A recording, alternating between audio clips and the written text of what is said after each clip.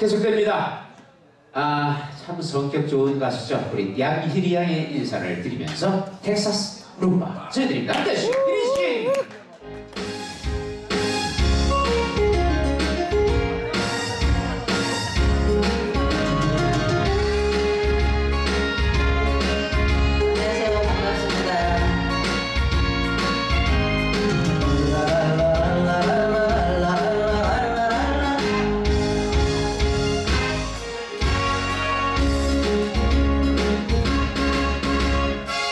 앞을 보고 옆을 보고 뒤돌아봐도 보이는 건 낯선 얼굴 낯선 사람